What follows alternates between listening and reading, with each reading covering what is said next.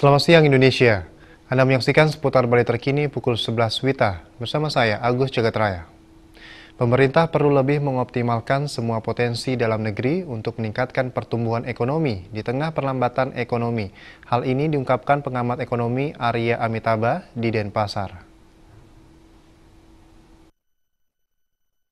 Menurut pengamat ekonomi Arya Amitabha, perlambatan ekonomi saat ini tidak hanya terjadi di Indonesia tetapi juga secara global. Paket kebijakan ekonomi pemerintah dengan mengoptimalkan berbagai potensi dalam negeri dan mengurangi impor barang merupakan langkah tepat karena kebijakan ini akan merangsang dunia usaha untuk memanfaatkan berbagai produk dalam negeri. Selain pengurangan impor, pembangunan berbagai infrastruktur seperti jalan dan pelabuhan di berbagai daerah di Indonesia juga harus dilakukan karena akan mengurangi biaya distribusi barang. Berkurangnya biaya distribusi barang berpengaruh terhadap penurunan harga barang yang diproduksi di berbagai daerah di Indonesia.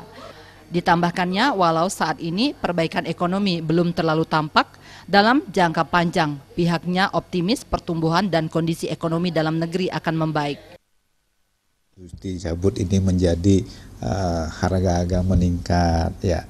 Dan ini kan hanya hanya kondisi yang yang memang kondisi konsep dasar ya di mana kondisi ini mesti dibiasakan di masyarakat ya.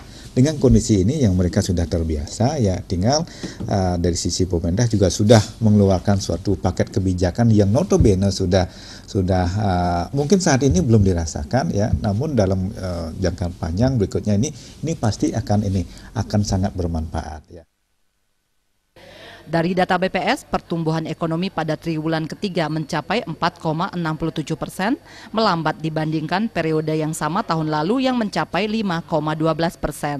Diana Putra dan Yudi Bali TV.